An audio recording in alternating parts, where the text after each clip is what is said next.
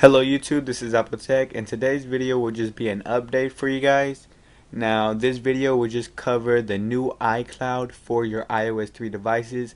Now this is still in beta and as you can see right there I am running version 3.1.3 so you can see that I do have an iPhone 2G so this is not the normal iCloud and this is actually being created by the real Black 7 now he is on the Whited00r site and he creates um, great applications. As you can see, this one's iCloud.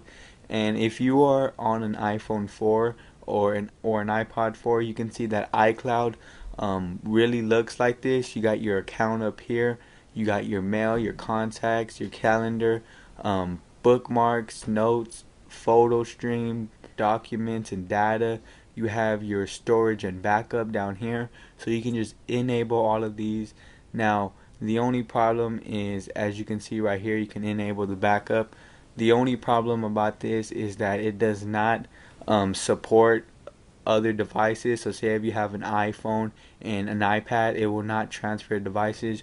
You will have to create your own account from um, a website you will create an account it is free and then it will give you your address and your account name. You can set all of that up quickly. I'll put a link in the description. It just allows you to back up any of these files if something may happen to your device. Now I'm not certain if this works all the way because it is still in beta so everything still might not work. But as you can see you have mostly everything um, of this iCloud. As you can see it is in your settings.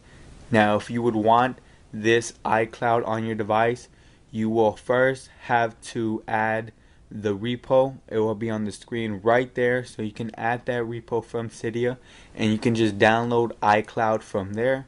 Now when you download iCloud I just gotta let you guys know it will not pop up in your settings.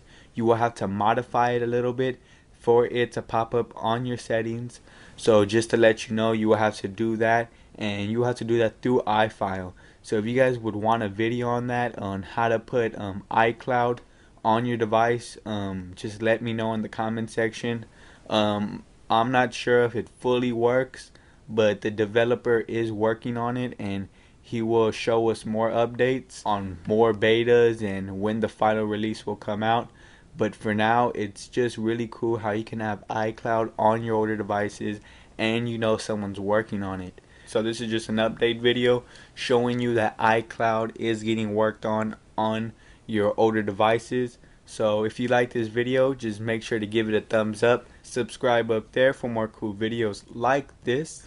As I said, leave any of your comments, questions below, folks. Tell me what you guys think about this iCloud on your older devices and also if you would want me to make a video on how you can get this on your device. Like always, follow me on Twitter at AppleTechHelping where you can get the latest iOS 3 feed and you will know when my next video will be posted. So just make sure you follow me. This is Apple Tech. Peace out. See you in the next video.